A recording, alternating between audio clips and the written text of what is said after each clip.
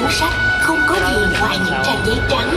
Bởi lẽ câu chuyện chưa bao giờ kết thúc. Nó đã chờ đợi hàng thế kỷ. Chờ đợi một ai đó viết nên hồi kết bằng sức mạnh từ trí tưởng tượng bay bổng của họ. Để viết vào cuốn sách này bạn cần hai thứ.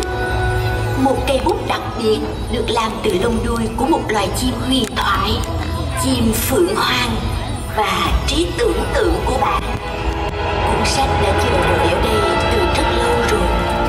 Chờ đợi một người trong số các bạn. Nhưng hãy đề phòng những phù thủy. Hàng thế kỷ qua mụn ra sức săn lùng cây bút làm bằng lông đuôi phượng hoàng này.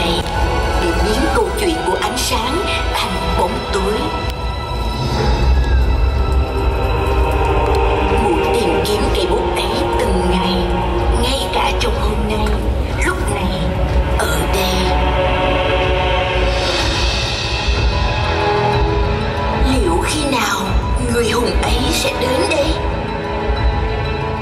Hay là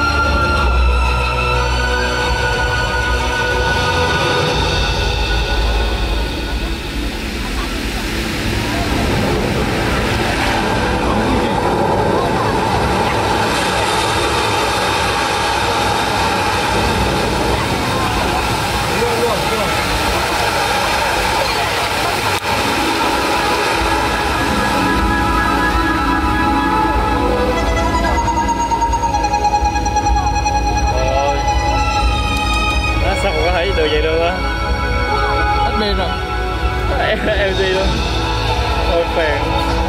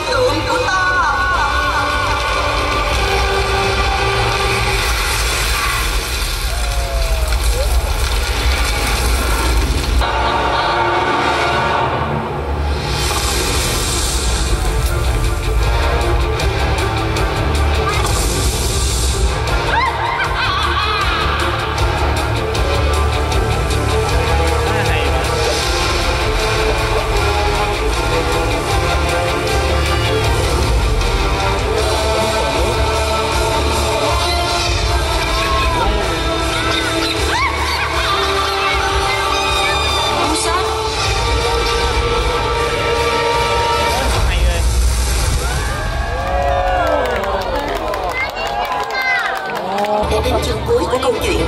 Nhưng câu chuyện vẫn chưa có hồi kết. Bạn phải hoàn thành câu chuyện. Nếu không, mũ phù thủy sẽ làm điều đó. Không đời nào người có thể cứu được. Ta Ta sẽ triệu tập mọi sức mạnh Và chiếm lại thế giới.